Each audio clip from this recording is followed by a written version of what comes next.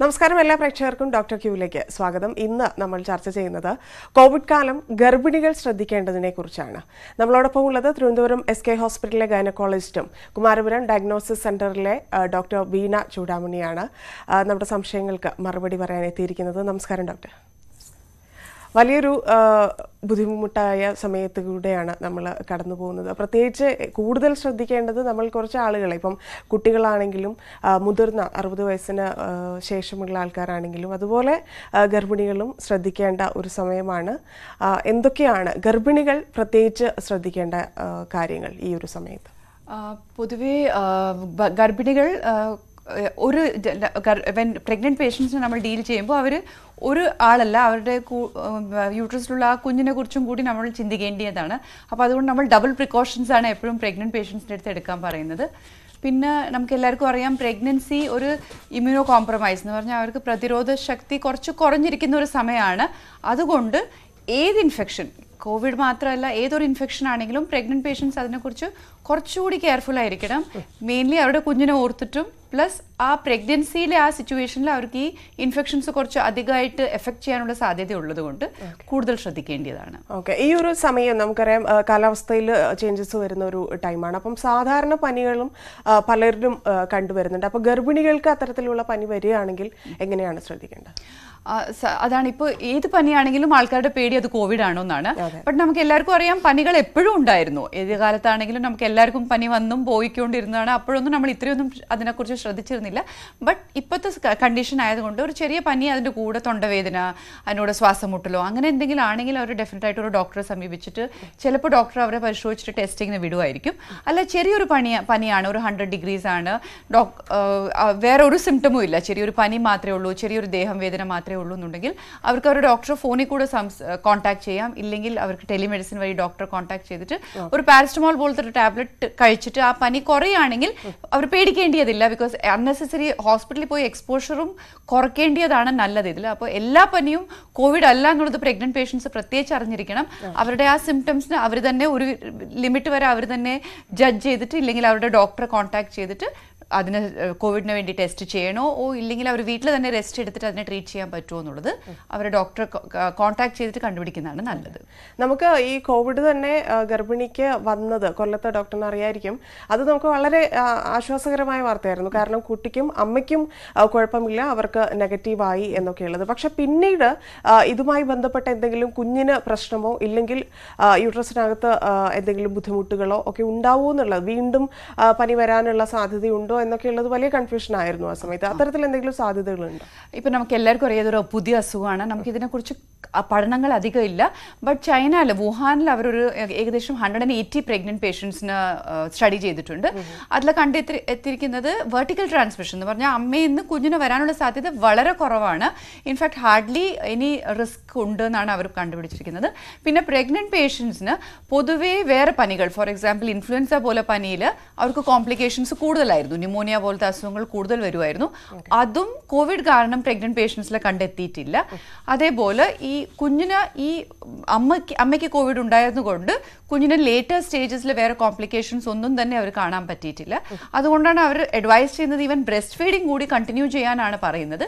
പിന്നെ direct contact അമ്മയും കുഞ്ഞിനുള്ള ആ ഡയറക്റ്റ് കോൺടാക്ട് കൊണ്ട് ഇൻഫെക്ഷൻ പടരാതിരിക്കാനായിട്ട് ബ്രസ്റ്റ് മിൽക്കിനെ പമ്പ് ചെയ്തിട്ട് കുഞ്ഞിനെ കൊടുക്കാനാണ് പറയുന്നത്. അപ്പോൾ അതുകൊണ്ട് ഈ കോവിഡ് ഉള്ള മദേഴ്സിന്റെ ബേബീസിന് റിസ്ക് വളരെ കുറവാണ്. വേറെ വൈറൽ ഇൻഫെക്ഷൻസും വേറെ പനികളെ പോലെ ഫോർ എക്സാമ്പിൾ ഇപ്പോൾ ചിക്കൻ പോക്സോ ഇല്ലെങ്കിൽ വേറെ ഇൻഫ്ലുവൻസ പോലെ പനികളൊക്കെ കുട്ടീനെ കുറേ രീതികളിൽ ബാധിക്കാനുള്ള സാധ്യത ഉള്ളതുപോലെ ഈ ഇൻഫെക്ഷൻ ഇല്ല എന്നുള്ളൊരു ആശ്വാസം മാത്രമേ നമുക്ക് പ്രഗ്നന്റ് പേഷ്യൻസിനെ കുറിച്ച് ആലോചിക്കുമ്പോൾ ഉള്ളത്. ശരി. അത് കൂടാതെ തന്നെ ഈ കുഞ്ഞിന് ഇത് പകരുമോ എന്നുള്ള ഒരു സമയം പ്രത്യേകിച്ച് ഈ ഒരു കോവിഡ് ബാധിക്കുന്ന പ്രഗ്നന്റ് ആയിട്ടുള്ള ആളാണെങ്കിൽ ആ സമയത്ത് ഇപ്പൊ ഡെലിവറി ടൈമിലാണ് കോവിഡ് വരുന്നത് എന്നുണ്ടെങ്കിൽ അത് കുഞ്ഞിനെ ബാധിക്കാനുള്ള സാധ്യത. അതാണ്. ആ കോൺടാക്ട് ആണല്ലോ അതിന് റിസ്ക് ഉണ്ടാക്കുന്നത്. അപ്പോൾ നമ്മളിപ്പോൾ മദർ ഡയഗ്നോസ്ഡ് ആണ് മദർ പോസിറ്റീവ് ആണെന്നുണ്ടെങ്കിൽ നമ്മൾ ഉടനെ തന്നെ കുഞ്ഞിനെ ഐസൊലേറ്റ് ചെയ്യുക ചെയ്യുന്നത്. അതുകൊണ്ട് മദറും കുഞ്ഞിനും ആ നെഗറ്റീവ് ആവുന്നവരെ കോൺടാക്ട് അവോയ്ഡ് ചെയ്യുകയാണെങ്കിൽ ഇല്ലെങ്കിൽ അവർ ഇപ്പോൾ ഒരു ചില സാഹചര്യത്തിൽ ഒരു കാരണവശാലും കോൺടാക്ട് അവോയ്ഡ് ചെയ്യാൻ പറ്റില്ല എന്നുണ്ടെങ്കിൽ മാസ്ക് ധരിച്ച് കൈയൊക്കെ റെഗുലറായിട്ട് വാഷ് ചെയ്താൽ അവർക്ക് ആ ട്രാൻസ്മിഷൻ കുറയ്ക്കാൻ പറ്റും. എന്നാലും ഇപ്പോഴത്തെ പരിസ്ഥിതിയിൽ നമ്മൾ അമ്മേനെ ഐസൊലേറ്റ് ചെയ്തിട്ട് ഈ ബ്രസ്റ്റ് മിൽക്കിനെ പമ്പ് ചെയ്തിട്ട് എക്സ്പ്രസ്ഡ് ബ്രസ്റ്റ് മിൽക്ക് ആയിട്ട് കൊടുക്കാനാണ് പറയുന്നത്. അമ്മ നെഗറ്റീവ് ആകുന്നവർ ശരി ഡോക്ടർ നമുക്കൊരു കോളറിലേക്ക് പോകാം. നമസ്കാരം. ആരാ സംസാരിക്കുന്നത്? ഹലോ? Hello hello? ആരാ സംസാരിക്കുന്നത്? കേൾക്കാമോ? ആ കേൾക്കാം. ഞാൻ ചങ്ങനാശ്ശേരി നിന്നാണ് വിളിക്കുന്നത് ഓക്കെ. ഡോക്ടറോട് എന്റെ മോൾ ആ ഡോക്ടറോട് സംസാരിക്കാനാ. ആ പറയൂ. ആ മോൾ മൂന്നര മാസം പ്രഗ്നന്റ് ആണ്. ആ. അപ്പൊ അവക്ക് എപ്പോഴും വൊമിറ്റിംഗ് ഉണ്ട്. അപ്പം ഞങ്ങൾ രണ്ടു പ്രാവശ്യം ഹോസ്പിറ്റലിൽ അഡ്മിറ്റ് ചെയ്യുകയൊക്കെ ചെയ്തു. അപ്പൊ ഡോക്ടർ ഞങ്ങൾക്ക് തന്ന. ഒരു പെരിസെറ്റ് എന്ന് പറഞ്ഞൊരു ടാബ്ലറ്റ് തന്നു. അത് വായിലിട്ട് അലിയിച്ച് കഴിക്കാൻ പറഞ്ഞു. അതിന് വരാതിരിക്കാൻ. അപ്പൊ അതിങ്ങനെ ഞങ്ങൾ അന്വേഷിച്ച് പറഞ്ഞ ടാബ്ലറ്റ് കഴിക്കുന്നത് ഒത്തിരി കഴിക്കുന്നത് നല്ലതല്ല. അല്ല എമിസെറ്റ് എന്ന് പറയുന്നത് എമിസെറ്റ് എന്ന് പറഞ്ഞൊരു ടാബ്ലറ്റ് ആണ്. അത് നമ്മൾ പ്രഗ്നൻസിയിൽ സേഫ് ആയിട്ട് വോമിറ്റിങ്ങിന് കൊടുക്കുന്നതാണ്. കഴിക്കുന്നതുകൊണ്ട് ഒരു ദോഷവും ഇല്ല. വോമിറ്റിംഗ് വന്നിട്ട് അത് കാരണം വേറെ പ്രശ്നം വരുന്ന കാട്ടിൽ നല്ലത് ടാബ്ലറ്റ് കഴിച്ചിട്ട് വോമിറ്റിംഗ് കുറയ്ക്കുന്നത് തന്നെയാണ്. ഓക്കെ. ഡോക്ടർ കണ്ണൂരിൽ നിന്ന് ഒരു പ്രേക്ഷക ചേരുന്നുണ്ട് റംലത്ത റംലത്ത ഡോക്ടറോട് സംശയം ചോദിച്ചോളൂ. അത് ഞാൻ ഒമ്പത് മാസം ഗർഭിണിയാണേ. ആ. അപ്പൊ പിന്നെ എന്റെ കാലിന് നല്ല നീരുണ്ട്. അപ്പൊ ബി പി നോക്കിയപ്പോലെ നോർമലാണ്. അത് എന്തുകൊണ്ട് ഡോക്ടർ അങ്ങനെ സാധാരണ സാധാരണ പ്രഗ്നൻസിയിൽ നീര് വരുന്നത് കോമൺ ആണ്.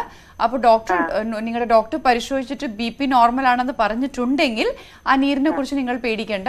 നോർമൽ ആയിട്ടും എല്ലാ പ്രഗ്നന്റ് പേഷ്യൻസിനും കാലിന് നീര് വരാറുണ്ട്. അത് യൂട്രസിന്റെ പ്രഷർ കാരണം ബ്ലഡ് ഫ്ലോ കുറഞ്ഞിട്ടാണ് ഈ നീര് വരുന്നത്. ഓക്കെ ഡോക്ടർ നേരത്തെ പറഞ്ഞു ഈ പനി വരുമ്പോൾ പോലും ആൾക്കാർ ഭയങ്കരമായിട്ട് പേടിക്കുന്നു എന്നുള്ള കാര്യം. അപ്പോൾ ആശുപത്രിയിൽ വരുന്നതിൽ പോലും ഗർഭിണികളുടെ എണ്ണത്തിൽ വളരെ ഒരു കുറവ് വന്നിട്ടുണ്ട്. ഇപ്പം ഡോക്ടർ വർക്ക് ചെയ്യുന്ന ഹോസ്പിറ്റലിൽ മറ്റു ഹോസ്പിറ്റൽസിലൊന്നും അധികം ഡോക്ടേഴ്സ് അവരെ ഡയറക്റ്റ് കണ്ടിട്ട് ഇപ്പം മറ്റ് സംവിധാനങ്ങൾ നമുക്കുണ്ട് ടെലിമെഡിസിൻ പോലെയുള്ള കണ്ട് വീഡിയോയിലൂടെ കണ്ട് പേഷ്യന്റിനെ കുറിച്ച് സംസാരിക്കാനൊക്കെ സാധിക്കും. അപ്പം ആ അവസരത്തിൽ ഏറ്റവും നല്ലത് ആശുപത്രിയിൽ വരാതെ ഇത്തരത്തിലുള്ള ഇതാണോ? ടെസ്റ്റുകൾ അതുകൊണ്ട് മിസ്സാവുന്നത് ബുദ്ധിമുട്ടാണ്. ഞങ്ങളിപ്പോൾ ഞങ്ങൾക്ക് ഫോക്സി എന്ന് പറഞ്ഞ ഞങ്ങളുടെ ഓർഗനൈസേഷൻ ആണ്. അവരാണ് നമുക്ക് ഡയറക്റ്റീവ്സ് തന്നിരിക്കുന്നത്. നമ്മൾ സാധാരണ രീതിയിൽ ഇപ്പോൾ പണ്ടൊക്കെ കണ്ടുകൊണ്ടിരുന്നത് ആദ്യത്തെ ഏഴ് മാസം വരെ എല്ലാ മാസവും പേഷ്യന്റിനെ കാണുമായിരുന്നു. പിന്നെ പതിനഞ്ച് ദിവസം കൂടുമ്പോൾ അവസാനം ആകുമ്പോൾ ആഴ്ച തോറും പേഷ്യന്റിനെ കാണുമായിരുന്നു. ആ ചെക്കപ്സ് ഒക്കെ നമ്മളിപ്പോൾ കുറച്ചിട്ടുണ്ട്. പറ്റുന്നതും ആദ്യം ഒരു കൺഫർമേഷന് വരുമ്പോൾ തന്നെ നമ്മൾ ചെയ്യാനുള്ള എല്ലാ ബ്ലഡ് ടെസ്റ്റും ചെയ്തിട്ട് അവർക്ക് സ്കാനും കൂടി ചെയ്തിട്ട് പിന്നെ അവരോട് മൂന്ന് മാസം കഴിയുമ്പോൾ ദാറ്റ് ഇസ് ട്വൽവ് വീക്സിന്റെ സ്കാനിന് മാത്രമേ വരാൻ പറയാറുള്ളൂ. അത് കഴിഞ്ഞിട്ട് ട്വൽവ് വീക്ക് സ്കാനിൽ ആ ബ്ലഡ് ടെസ്റ്റും സ്കാനും ഒക്കെ കഴിഞ്ഞു കഴിഞ്ഞാൽ അംഗവൈലി വൈകല്യങ്ങൾ എന്തെങ്കിലും ഉണ്ടോ എന്ന് അറിയാനുള്ള അഞ്ചാം മാസം സ്കാനിന് മാത്രമേ വരാൻ പറയാറുള്ളൂ. അത് കഴിഞ്ഞിട്ട് ഏഴാം മാസത്തിലും പിന്നെ മുപ്പത്തി അഞ്ച് മാസ ആഴ്ചയിലും മുപ്പത്തൊമ്പത് ആഴ്ചയിലുമാണ് നമ്മളിപ്പോൾ പേഷ്യൻസിന് പൊതുവേ ചെക്കപ്സിന് വിളിക്കുന്നത്. അപ്പോൾ ഈ നമ്പർ ഓഫ് ചെക്കപ്സിന് നമ്മൾ ഓൾമോസ്റ്റ് വൺ തേർഡ് ആയിട്ട് കുറച്ചിട്ടുണ്ട് ഈ സന്ദർഭങ്ങളിൽ. ഈ ഇതുപോലെ ട്രാൻസ്മിഷൻ വരാതിരിക്കാനും. അവർ നമ്മളിപ്പോൾ എല്ലാവരും സ്റ്റേ അറ്റ് ഹോം എന്ന് പറഞ്ഞിട്ട് പിന്നെ ഡോക്ടറെ കാണാനായിട്ട് എല്ലാ പതിനഞ്ച് ദിവസവും എല്ലാ ആഴ്ചയും വരാൻ പറയുന്നത് ശരിയല്ലല്ലോ. ബട്ട് ഇത് ഒരു നോർമൽ പ്രഗ്നൻസിക്കാണ് വേറെ ഒരു കോംപ്ലിക്കേഷൻസും ഇല്ലാത്തൊരു പ്രഗ്നൻസി ആണെങ്കിൽ ഈ രീതിയിൽ നമുക്ക് പോവാം. ബട്ട് ഒരു പ്രഷർ ഉള്ള പേഷ്യന്റ് ആണെങ്കിലോ ഇല്ലെങ്കിൽ ഡയബറ്റീസ് ഉള്ള പേഷ്യന്റ് ആണെങ്കിൽ ചിലപ്പോൾ നമുക്ക് അവരെ കൂടുതൽ പ്രാവശ്യം വിളിക്കേണ്ടി വരാറുണ്ട്. ഇതിനെയും കൂടി നമ്മൾ പറ്റുവാണെങ്കിൽ അവരെ കൊണ്ട് വീട്ടിൽ എന്തെങ്കിലും ബി പി പാരറ്റസ് പോലെ എന്തെങ്കിലും ഉണ്ടെങ്കിൽ ബി പി തനിയെ ഓട്ടോമാറ്റിക്കായിട്ട് ചെക്ക് ചെയ്യാൻ പറയാറുണ്ട്. ഗ്ലൂക്കോമീറ്റർ ഉണ്ടെങ്കിൽ ഷുഗർ തനിയെ ചെക്ക് ചെയ്തിട്ട് ഞങ്ങളെ ഒന്നിൽ ഫോണിൽ കൂടെ അറിയിക്കാൻ ഇല്ലെങ്കിൽ ഈ ടെലിമെഡിസിൻ വഴി അറിയി അറിയിച്ചിട്ട് പറ്റുന്നതും നമ്മൾ വീട്ടിലിരുന്ന് തന്നെ ഇവരെ ചികിത്സിക്കാനാണ് നോക്കുന്നത്. അപ്പൊ ഈ ഒരു പാൻഡമിക് തീരുന്നവരെ ഇതുപോലെ ആയിരിക്കും ഞങ്ങളുടെ ആന്റിനേറ്റൽ ചെക്കപ്സ് കണ്ടിന്യൂ ചെയ്യുന്നത്. സോ ദാറ്റ് നമ്മൾ പറ്റുന്നതും ഗവൺമെന്റിനും ഹെൽപ്പ് ചെയ്ത പോലെയാവും പേഷ്യൻസിനും പുറത്തിറങ്ങിയിട്ട് വരുന്നുള്ള റിസ്ക് കുറയ്ക്കുന്നതായിരിക്കും. ഡോക്ടർ ഒരു കോൾ കൂടിയുണ്ട് കണ്ണൂരിൽ നിന്നാണ് സംഗീത. സംഗീത ഡോക്ടറോട് ചോദിച്ചോളൂ സംശയം. പറയൂ. ഹലോ? ആ മാഡം ഞാനിപ്പം സിക്സ് മന്ത് കഴിഞ്ഞ് സെവൻത്ത് മന്ത് ആകാൻ വേണ്ടി പോവാണ്. ഓക്കെ. അപ്പൊ എനിക്ക് ലാസ്റ്റ് മന്ത് പോയപ്പോ ബി പി വളരെ കുറവായിരുന്നു. ഒരു ഫോർട്ടി സിക്സ്റ്റി റേഞ്ച് ഉണ്ടായിരുന്നുള്ളൂ. ഓക്കെ. അപ്പൊ ഇപ്പൊ അതിനുശേഷം എന്ന് വെച്ചിട്ടുണ്ടെങ്കിൽ രാത്രി എനിക്ക് തീരെ കിടക്കാൻ പറ്റണില്ല. കിടക്കുമ്പോഴേക്ക് ഭയങ്കരമായിട്ട് വയറ് വേദന വരുന്നു. വയറ് വേദന വെച്ചാൽ അടിവയറിൽ മാത്രം ഇരിക്കാനും പറ്റണില്ല കിടക്കാനും പറ്റണില്ല. ഇരുന്ന് കഴിഞ്ഞാലും ഭയങ്കരമായിട്ടൊരു വേദന. അല്ല വയറുവേദനയ്ക്കും ബി പി കുറയുന്നതിനും ഒരു റിലേഷനും ഇല്ല. അപ്പോൾ ബി പി കുറയുന്നത് കൊണ്ട് വയറുവേദന വരാൻ സാധ്യതയില്ല. ബി പി കുറഞ്ഞിരിക്കുന്നത് ഒരു രീതിയിൽ പ്രഗ്നൻസിയിൽ നല്ലത് തന്നെയാണ്. ബി പി കൂടുന്നതാണ് കൂടുതലും പ്രശ്നങ്ങൾ ഉണ്ടാക്കുന്നത്. പക്ഷെ ഫോർട്ടി ബൈ സിക്സ്റ്റി ഒക്കെ വളരെ ലോ ബി പി ആണ്. അപ്പോൾ വേണമെങ്കിൽ കുറച്ച് സോൾട്ട് ആഡ് ചെയ്തിട്ട് കഞ്ഞിവെള്ളമോ നാരങ്ങ വെള്ളമോ എന്തെങ്കിലും കുടിക്കുന്നതായിരിക്കും നല്ലത്. കുറച്ച് സോൾട്ട് അധികം ആവുമ്പോഴേക്ക് വല്ലാണ്ട് വോമിറ്റിംഗ് വരും. സോൾട്ട് അത്ര അധികം ഇടരുത്. പറ്റുന്ന ആ കഴിക്കാൻ പറ്റുന്ന രീതിയിൽ സോൾട്ട് ആഡ് ചെയ്താൽ മതി. ബട്ട് വയറുവേദന ഉണ്ടെങ്കിൽ ഡോക്ടറെ സമീപിക്കുന്നതായിരിക്കും. നല്ലത് ചിലപ്പോൾ യൂറിനറി ഇൻഫെക്ഷൻ കാരണം വയറുവേദന വരാം. ഇല്ലെങ്കിൽ എന്തെങ്കിലും പ്രീ ടേം പെയിൻ വരാനുള്ള റിസ്ക് ഉള്ളവർക്കും വയറുവേദന വരാം. ബി പി ഫോൾ കാരണം വയറുവേദന വരാൻ സാധ്യതയില്ല. വയറുവേദന പ്രത്യേകിച്ച് ശ്രദ്ധിച്ച് ഡോക്ടറെ കണ്ടിട്ട് അതിനുള്ള ചികിത്സ എടുക്കുന്നതാണ് നല്ലത്. ശരി.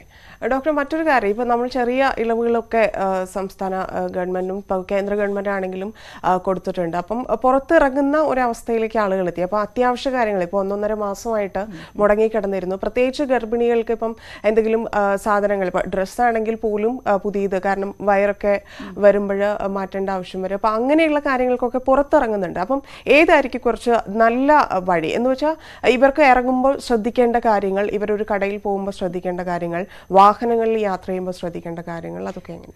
എല്ലാവരും ശ്രദ്ധിക്കേണ്ട അതേ കാര്യങ്ങൾ തന്നെയാണ് ഗർഭിണികളും ശ്രദ്ധിക്കേണ്ടത്. പക്ഷെ കുറച്ചുകൂടി സ്ട്രിക്റ്റ് ആയിട്ട് അവർ ഫോളോ ചെയ്യേണ്ടി വരും. എല്ലാവരും മാസ്ക് ധരിച്ച് തന്നെ പറയുന്ന പോലെ നമ്മൾ ഗവൺമെന്റ് തന്നെ റൂൾ ആക്കിയിട്ടുണ്ട് എല്ലാവരും മാസ്ക് ധരിച്ച് തന്നെ പുറത്ത് ഇറങ്ങണം എന്നുള്ളത്. അതേപോലെ പറ്റുന്നതും ഒരു കടയിൽ പോയി തന്നെ നിങ്ങൾക്ക് ആവശ്യമുള്ള എല്ലാ സാധനങ്ങളും വാങ്ങാൻ നോക്കുക. പിന്നെ നമുക്ക് എല്ലാവർക്കും അറിയാം ഇപ്പോൾ ഓൺലൈൻ ഷോപ്പിംഗ് ഉണ്ട്. അതിന്റെ എല്ലാം ഓൺലൈൻ പോർട്ടൽസ് ഒക്കെ ഇപ്പോൾ തുറന്നിട്ടുണ്ട്. അപ്പോൾ പറ്റുവാണെങ്കിൽ നിങ്ങളുടെ ഷോപ്പിംഗ് ഓൺലൈൻ ഷോപ്പിംഗ് വഴി നടത്താൻ നോക്കുക. കടയിൽ പോയി തന്നെ വാങ്ങേണ്ടി വാങ്ങിയേ പറ്റും എന്നുണ്ടെങ്കിൽ പറ്റുന്നതും ഒരു കടയിൽ പോയിട്ട് എല്ലാ സാധനങ്ങളും വാങ്ങിയിട്ട് തിരിച്ചു വരാൻ നോക്കുന്നതാണ് നല്ലത്. അവിടെ പോയാലും പറ്റുന്നതും എക്സ്പോഷർ കുറയ്ക്കാൻ നോക്കണം. പറ്റുന്നതും അവിടെ പോയി സർഫസസ് ഒക്കെ തൊടാതിരിക്കുക. തൊട്ടാലും വീട്ടിൽ വന്ന ഉടനെ കൈയും കാലും നല്ലപോലെ സോപ്പ് കൊണ്ട് വാഷ് ചെയ്തിട്ട് പിന്നെ വീട്ടിലേക്ക് കയറുന്നതായിരിക്കും നല്ലത്. ഡെഫിനറ്റ് ആയിട്ടും ആ പ്രൊട്ടക്ട് ആ ക്ലോത്ത്സ് ഒക്കെ ഇട്ടിട്ട് പോയ ക്ലോത്ത്സ് ഒക്കെ വന്ന ഉടനെ വാഷ് ചെയ്യുന്നതായിരിക്കും നല്ലത്. അപ്പോൾ സാധാരണ ഒരാൾ ശ്രദ്ധിക്കേണ്ട കാര്യങ്ങൾ തന്നെയാണ്. പക്ഷെ കുറച്ചുകൂടി സ്ട്രിക്റ്റ് ആയിട്ട് ശ്രദ്ധിക്കേണ്ടതാണ് നല്ലത്. പറ്റുന്നതും ബട്ട് അൺനെസസറി ആയിട്ട് പുറത്തിറങ്ങാതെ ഏതെങ്കിലും ഒരു കാര്യം ഫോണിൽ കൂടെ ഓർഡർ ചെയ്താലോ ഇല്ലെങ്കിൽ ഓൺലൈൻ വഴി ഓർഡർ ചെയ്തിട്ട് വാങ്ങാൻ പറ്റുവാണെങ്കിൽ അതായിരിക്കും നല്ലത്. ഇല്ലെങ്കിൽ അവരുടെ ഹസ്ബൻഡ്സ് പോയി അവർക്ക് വേണ്ടി ഷോപ്പ് ചെയ്യുന്നതായിരിക്കും അതിനെക്കാട്ടിൽ നല്ലത്. ഓക്കെ. നേരത്തെ നമ്മൾ പറഞ്ഞതുപോലെ ഇപ്പം ഭക്ഷണ കാര്യത്തിൽ കൂടുതൽ ശ്രദ്ധിക്കേണ്ട ഒരു സമയം കൂടിയാണ്. പ്രത്യേകിച്ച് ഡോക്ടർ നേരത്തെ പറഞ്ഞു ഇവർക്ക് ഉള്ള പ്രതിരോധശേഷി കുറയുന്ന ഒരു സമയം കൂടിയാണ് ഈ ഗർഭകാലം എന്ന് പറയുമ്പോൾ. അപ്പം എന്തൊക്കെ ഭക്ഷണത്തിലാണ് കൂടുതൽ ശ്രദ്ധിക്കേണ്ടത്? ഡെഫിനറ്റ് ആയിട്ടും കുറച്ചുകൂടി ന്യൂട്രീഷ്യസ് ആയിട്ട് ഫുഡ് കഴിക്കുന്ന കഴിക്കുന്ന ആവശ്യമുണ്ട് ഈ സമയത്ത്. സാധാരണ പ്രഗ്നന്റ് പേഷ്യൻസിനോട് നമ്മൾ എപ്പോഴും പറയുന്ന പോലെ വെള്ളം അധികം കുടിക്കണം. ഹൈഡ്രേഷൻ മെയിന്റെയിൻ ചെയ്യണം. പ്രത്യേകിച്ച് ചെറിയൊരു പനിയൊക്കെ ഉണ്ടെങ്കിൽ പറ്റുന്നത്ര വെള്ളം കുടിച്ച് ആ ഹൈഡ്രേഷൻ മെയിന്റെയിൻ ചെയ്ത് പോയാൽ പനിയും കുറയും. ആ പനി കാരണം വരുന്ന കോംപ്ലിക്കേഷൻസും കുഞ്ഞിന് വരുന്ന കോംപ്ലിക്കേഷൻസും കുറയും. അതേപോലെ പറ്റുന്നതും ഈസിലി ഡൈജസ്റ്റബിൾ ഫുഡായിരിക്കും കഴിക്കുന്നത് നല്ലത്. സോ ദാറ്റ് ആ കുഞ്ഞിനുള്ള ന്യൂട്രീഷൻ അതുപോലെ കിട്ടും. ഹൈ പ്രോട്ടീൻ ഡയറ്റ് കഴിക്കാൻ പറയും.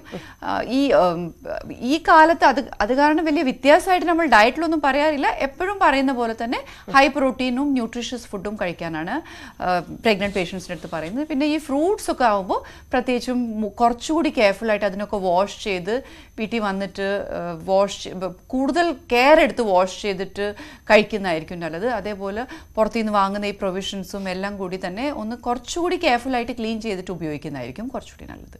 ഓക്കെ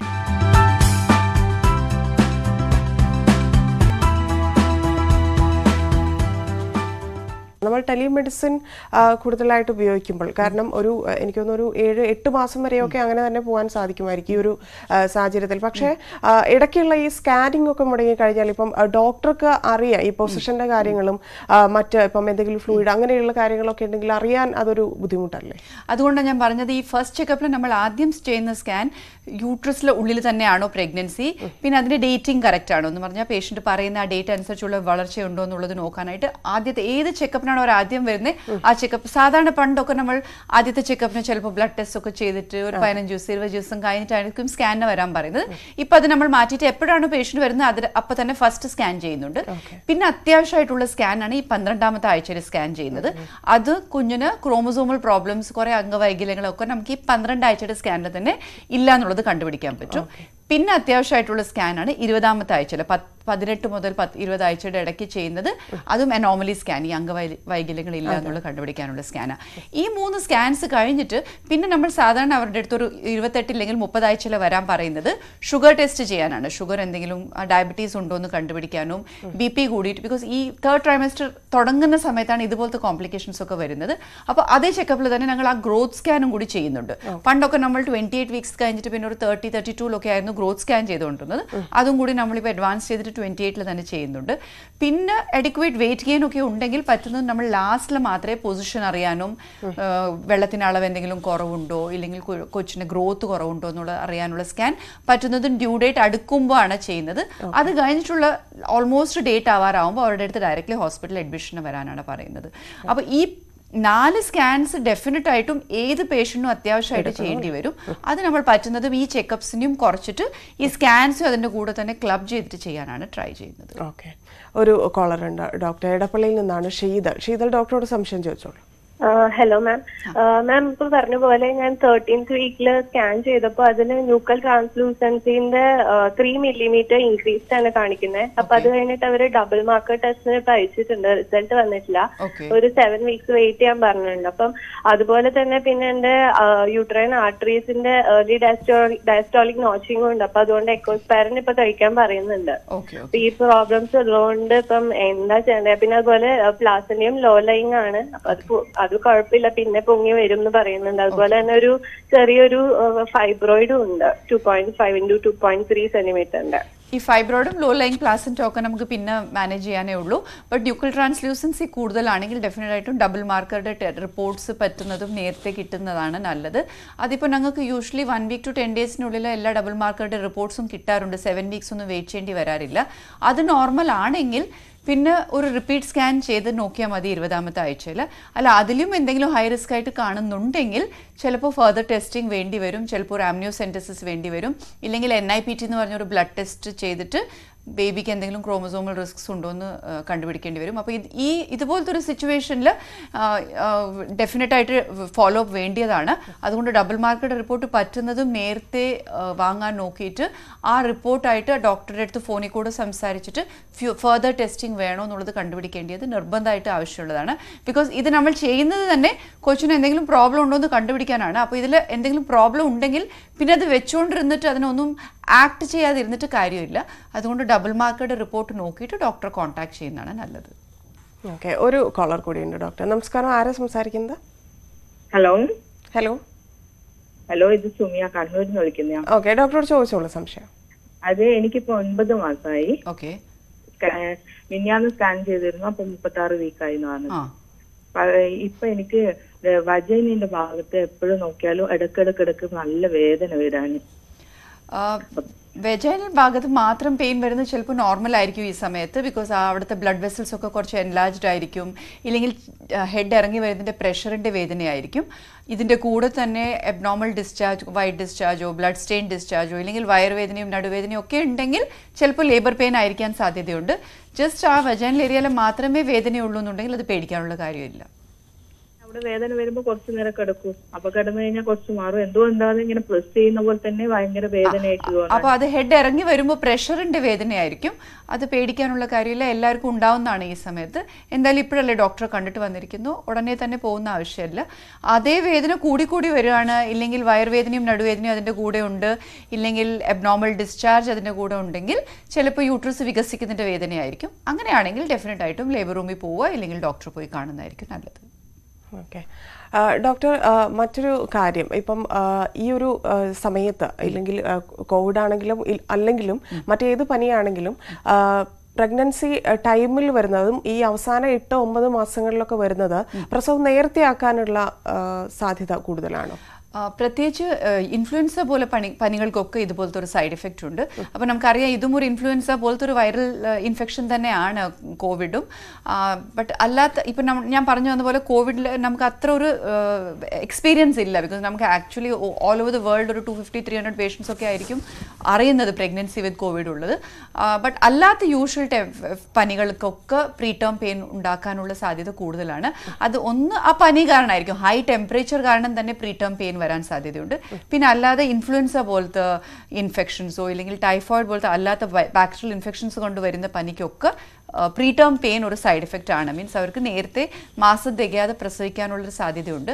അതുകൊണ്ടാണ് ഈ സമയത്ത് പനി വരുമ്പോൾ നമ്മൾ പറ്റുന്നതും ഡോക്ടറെ കണ്ടിട്ട് ആസ് വെൽ ഈസ് പോസിബിൾ ആ പനി പറ്റുന്നതും കുറയ്ക്കാൻ ഉള്ള മെഡിസിൻസ് കൊടുക്കാറുണ്ട്. ബിക്കോസ് ഹൈ ടെമ്പറേച്ചർ തന്നെ പ്രീ ടേം പെയിൻ ഒരു റിസ്ക് ഉണ്ടാക്കാറുണ്ട്. പക്ഷേ കോവിഡ് സംബന്ധിച്ച് നമ്മൾ അങ്ങനത്തെ ഒരു റിസ്ക് ഇതുവരെ കണ്ടെത്തിയിട്ടില്ല. ബട്ട് പറഞ്ഞ പോലെ നമ്മുടെ എക്സ്പീരിയൻസ് കുറവാണ്. ഓക്കെ ഈ ഒരു സമയത്ത് പ്രസവിച്ച ഇപ്പൊ ഒരു രണ്ട് മാസത്തിനുള്ളിൽ പ്രസവിച്ച അമ്മമാർ എന്തൊക്കെയാണ് കൂടുതൽ? കുഞ്ഞുങ്ങളെ പരിചരിക്കുന്നതിലും മറ്റുമൊക്കെ ശ്രദ്ധിക്കേണ്ട കാര്യം? പ്രത്യേകിച്ച് നമുക്ക് വേറെ ഒരു ചേഞ്ചും കണ്ടിട്ടില്ല. ഈ സമയത്ത് ഞങ്ങൾക്ക് ഇഷ്ടംപോലെ ഡെലിവറീസ് വന്നിട്ടുണ്ട്. കുറേ പേഷ്യൻസ് ആ ഡ്യൂ ഡേറ്റ്സ് അവിടെ ഉണ്ടാവുന്ന ആൾക്കാരൊക്കെ വന്ന് ഡെലിവറി ആയിട്ട് പോയിട്ടുണ്ട്. അവർക്ക് ഈ സമയത്ത് ഡെലിവറി ആയതുകൊണ്ട് കുഞ്ഞിന് കൂടുതൽ റിസ്ക്കോ കൂടുതൽ പ്രശ്നങ്ങളോ ഒന്നും നമ്മൾ കണ്ടിട്ടില്ല. ബട്ട് അവരെല്ലാവരും എടുക്കുന്ന അതേ പ്രിക്കോഷൻസ് തന്നെ എടുക്കണം എന്ന് പറഞ്ഞാൽ കുഞ്ഞിനെ ഫീഡ് ചെയ്യുന്ന മുമ്പും കൈ കഴുകുക പറ്റുന്നതും മാസ്ക് ധരിക്കുക. പിന്നെ വേറെ പ്രത്യേകിച്ച് ഞങ്ങൾ പറഞ്ഞു കൊടുക്കുന്നത് ഈ കുഞ്ഞുങ്ങളെ കാണാൻ വരുന്നത് കുറയ്ക്കുക. ഹോസ്പിറ്റലിൽ നമ്മൾ ഒരു ഒന്ന് മാക്സിമം ടു ബൈസ്റ്റാൻഡേഴ്സിനെ റൂമിൽ സമ്മതിക്കാറുണ്ട്.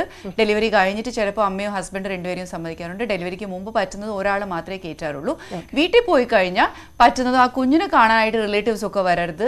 എന്തെങ്കിലും ഫംഗ്ഷൻ ഒക്കെ ഉണ്ടെങ്കിൽ അത് പറ്റുന്നത് നീട്ടി വെക്കാൻ പറയും. അങ്ങനെ ഫംഗ്ഷൻ നടത്തിയേ പറ്റുന്നുണ്ടെങ്കിൽ ഫാമിലി മെമ്പേഴ്സ് മാത്രം തന്നെ കൂടിയിട്ട് അല്ലാതെ പുറത്തുള്ള ആൾക്കാരെ വിളിക്കാതിരിക്കാൻ പറയാറുണ്ട്. അതുപോലത്തെ ഒരു ചെറിയ ചേഞ്ചസ് സോഷ്യൽ ചേഞ്ചസ് മാത്രം ഉണ്ടെന്നല്ലാതെ ആം, കുട്ടികൾക്കും ആ അമ്മമാർക്കും ഈ കാലത്ത് വേറെ റിസ്ക്സ് ഒന്നുമില്ല.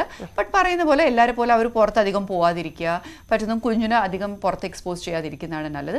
പിന്നെ വേറൊരു കാര്യം നമ്മൾ പറ്റുന്നതും ഇവരൊക്കെ വേഗം ഡിസ്ചാർജ് ചെയ്യാനാണ് നോക്കുന്നത്. ബിക്കോസ് ഹോസ്പിറ്റൽ സ്റ്റേ കുറയ്ക്കാനാണ് നോക്കുന്നത്. ഇപ്പോൾ ഹോസ്പിറ്റലിൽ ഒരാളുണ്ടെങ്കിൽ അവരെ അവർക്ക് കെയർ എടുക്കാനായിട്ട് വീട്ടിൽ നിന്ന് ഒരാൾ വരേണ്ടി വരും. ചിലപ്പോൾ ഫുഡ് അവർക്ക് ഹോസ്പിറ്റൽ ഫുഡ് ഇഷ്ടമായില്ല വീട്ടിൽ നിന്ന് ഫുഡ് അപ്പോൾ അതുപോലത്തെ ട്രാവലൊക്കെ കുറയ്ക്കുന്നത് കുറയ്ക്കാൻ ട്രൈ ചെയ്തുകൊണ്ട് പറ്റുന്ന നമ്മൾ നോർമൽ ഡെലിവറി ആയ പേഷ്യൻസിനൊക്കെ വേറെ കുഴപ്പമില്ലെങ്കിൽ അടുത്ത ദിവസം തന്നെ ഡിസ്ചാർജ് ചെയ്യാൻ നോക്കുന്നുണ്ട്. സിസേറിയൻ കഴിഞ്ഞ പേഷ്യൻസിന് മൂന്നാമത്തെ ദിവസം തന്നെ ഡിസ്ചാർജ് ചെയ്യാൻ നോക്കുന്നുണ്ട്. സോ ദാറ്റ് അവർക്ക് വേറെ പ്രശ്നങ്ങളൊന്നും ഇല്ലെങ്കിൽ വീട്ടിൽ പോയി കെയർ എടുക്കുന്നതായിരിക്കും. കുറച്ചുകൂടി നല്ലത്. ആ ഹോസ്പിറ്റൽ എൻവയോൺമെന്റിൽ നിന്ന് മാറി നിൽക്കുന്നതായിരിക്കും നല്ലത്. ഓക്കെ ഡോക്ടർ ഒരു കോൾ ഉണ്ട്. കോഴിക്കോട് നിന്നാണ് നിഷ. നിഷ ചോദിച്ചോളൂ ഡോക്ടറുടെ സംശയം. ഹലോ ഡോക്ടർ പറയൂ. അഞ്ചാം മാസത്തിൽ ഞാൻ സ്കാനിങ് എടുത്തപ്പോ കുട്ടീന്റെ ഊരി അബീസാണ് കാണുന്നത് ഇനി രണ്ടു ദിവസം കഴിഞ്ഞിട്ടാണ് ഒമ്പതാമത്തെ സ്കാനിങ് ചെയ്യാൻ പറഞ്ഞത്. അപ്പൊ അത് റൊട്ടേറ്റ് ചെയ്ത് വരുമോ കേട്ടില്ല. അഞ്ചാം മാസത്തിൽ ബ്രീച്ച് എന്ന് പറഞ്ഞിരുന്നോ? കാണുന്നത് എന്ന് പറഞ്ഞു. അഞ്ചാം മാസത്തിൽ ബ്രീച്ച് വളരെ കോമൺ ആണ്. ഏകദേശം എൺപത് ശതമാനം ആൾക്കാർക്ക് അഞ്ചാം മാസത്തിൽ ബ്രീച്ച് തന്നെ ആയിരിക്കും അത് ഡേറ്റ് ആവുന്തോറും ഏകദേശം ഒരു നയന്റി നയന്റി ഫൈവ് പെർസെന്റ് ആൾക്കാർക്ക് പൊസിഷൻ നോർമലായി വരും. അഞ്ചാം മാസത്തിൽ ബ്രീച്ച് ഉള്ളത് ഒരു പേടിക്കാനുള്ള കാര്യമേ അല്ല. റൊട്ടേറ്റ് ചെയ്ത് വരും. നോർമൽ തന്നെയായിരിക്കും ഓൾമോസ്റ്റ് ഒരു ഞാൻ പറഞ്ഞില്ല നയന്റി ഫൈവ് പെർസെന്റ് ആൾക്കാർക്ക് അത് റൊട്ടേറ്റ് ചെയ്ത് വരും. Okay thank you doctor okay ഈ ചെക്കപ്പുകളുടെ കാര്യത്തിൽ ഇപ്പോഴും പലർക്കും സംശയം ഉണ്ടാവും ഡോക്ടർ കാരണം ഇപ്പോൾ ഇപ്പൊ പറഞ്ഞ പോലെ ഹോസ്പിറ്റലിലൊന്നും പോവാതെ സ്വയമേ ചികിത്സിക്കുന്ന ആൾക്കാരും ഈ ഒരു സമയത്ത് കൂടുതലുണ്ടാവും. കാരണം ഇപ്പോൾ വോമിറ്റിംഗ് ആണെങ്കിലും മറ്റു കാര്യങ്ങളാണെങ്കിലും അതൊക്കെ സ്വയം തന്നെ ഇപ്പോൾ വീട്ടിലുള്ള നമ്മൾ പണ്ട് മുതലേ ആളുകൾ പറഞ്ഞു വരുന്ന കാര്യങ്ങളൊക്കെ. അത് നല്ലതാണോ? ഇല്ലെങ്കിൽ ഈ ഒരു സമയത്തിന് അത് യോജിച്ച കാര്യമാണ്? വോമിറ്റിംഗ് ഒരു നോർമൽ ചേഞ്ച് ആണ് പ്രഗ്നൻസിയിൽ അപ്പോൾ അത് വലിയൊരു ബുദ്ധിമുട്ട് ഉണ്ടാക്കുന്നില്ല എന്ന് പറഞ്ഞാൽ ബി പി കുറയുന്നില്ല അല്ല പേഷ്യന് ക്ഷീണമൊന്നും ഉണ്ടാക്കുന്നില്ല എന്നുണ്ടെങ്കിൽ അത് നോർമൽ നമ്മൾ തന്നെ ഈവൻ ഈ സമയത്തല്ല അല്ലാത്ത കാലത്ത് അവരോട് പറയുന്നത് വീട്ടിലുള്ള റെമഡീസ് ട്രൈ ചെയ്യുന്നതാണ്. ഇപ്പോൾ ജീരകവെള്ളമോ ഇല്ലെങ്കിൽ ഇഞ്ചി ഇട്ട ചായയോ അങ്ങനെ എന്തെങ്കിലും കുടിച്ചിട്ട് ആ വോമിറ്റിംഗ് തനിയെ കുറയുന്നുണ്ടെങ്കിൽ ഏറ്റവും നല്ലത് അത് തന്നെയാണ്. ഇല്ലെങ്കിൽ യൂഷ്വലി നമ്മൾ ഞാൻ പറഞ്ഞ പോലെ ഇപ്പോഴത്തെ കാലത്തൊക്കെ നമ്മൾ ഫസ്റ്റ് ചെക്കപ്പിൽ തന്നെ ഒരു നാലോ അഞ്ചോ വോമിറ്റിങ്ങിന്റെ ടാബ്ലറ്റും കൂടി പേഷ്യൻസിന്റെ അടുത്ത് എഴുതി കൊടുക്കാറുണ്ട്.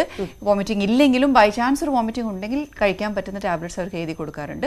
അതുകൊണ്ട് ഇതുപോലത്തെ ചെറിയ സിംറ്റംസ് ഒക്കെ വീട്ടിൽ മാനേജ് ചെയ്യുന്നതുകൊണ്ട് പ്രോബ്ലം ഒന്നുമില്ല. ബട്ട് അവർക്ക് തന്നെ അറിയാം. ഇപ്പോൾ എക്സസീവ് വോമിറ്റിംഗ് രാവിലെ മുതൽ വൈകുന്നേരം വരെ കണ്ടിന്യൂസ് ആയിട്ട് ഛർദ്ദിച്ചിട്ട് അവർക്ക് ക്ഷീണം ഉണ്ടാവുക അല്ലെങ്കിൽ ബി പി കുറയുക അവശതയാവുകയാണെങ്കിൽ നാച്ചുറലി അവർ തന്നെ ഹോസ്പിറ്റലിലേക്ക് വരണം എന്നുള്ള കാര്യം അവർക്ക് അറിയേണ്ടതാണ്. അപ്പോൾ പറ്റുന്നതും പ്രോബ്ലംസ് വീട്ടിൽ മാനേജ് ചെയ്യാൻ പറ്റുന്നതാണെങ്കിൽ മാത്രമേ മാനേജ് ചെയ്യുള്ളൂ.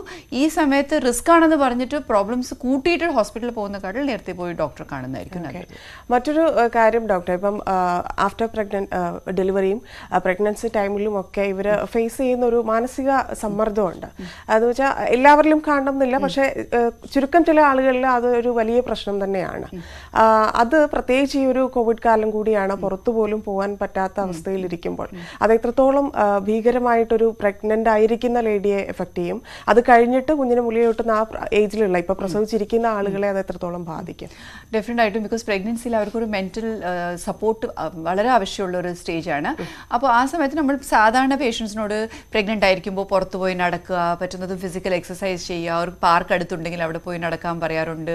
നമ്മുടെ ട്രിവാൻഡത്തുള്ള പേഷ്യൻസിനോടൊക്കെ മ്യൂസിയത്തിൽ പോയി ഒരു റൗണ്ടൊക്കെ അടിക്കാൻ പറയാറുണ്ട്. അത് പ്രത്യേകിച്ച് അവർക്കൊരു ഒരു ഒരു ചേഞ്ച് ആയിരിക്കും. പ്രത്യേകിച്ച് വീട്ടിലിരിക്കുന്ന ജോലിക്കൊന്നും പോകാത്ത സ്ത്രീകൾക്കാകുമ്പോൾ പുറത്ത് പോയി അതൊരു പ്രഗ്നൻസിയുടെ ഒരു സ്ട്രെസ് കുറയ്ക്കാനുള്ളൊരു നല്ലൊരു വേ ആയിരുന്നു. പക്ഷെ അതിപ്പോൾ നമുക്ക് അറിയാൻ പറ്റാത്ത ഒരു സമയമാണ് അതുകൊണ്ട് പറ്റുന്നത് അവർക്ക് വീട്ടിൽ തന്നെ അതിനുള്ള സപ്പോർട്ട് വീട്ടിലുള്ള ആൾക്കാർ പ്രത്യേകിച്ച് ഹസ്ബൻഡ് ആണെങ്കിലോ പേരൻസ് ആണെങ്കിലോ കൊടുക്കുന്നതാണ് നല്ലത്. അവരോട് പറയുക ഇതൊരു നമ്മൾ ആരും അറിഞ്ഞില്ല. ഇങ്ങനെ ഒരു കണ്ടീഷൻ നമുക്ക് ഫേസ് ചെയ്യേണ്ടി വരുമായിരുന്നു എന്നുള്ളത് അറിഞ്ഞില്ലായിരുന്നു. അപ്പോൾ അതുകൊണ്ട് വീട്ടിൽ തന്നെ പറ്റുന്നത് അവർക്ക് ആ മെന്റൽ സപ്പോർട്ട് കൊടുക്കണം.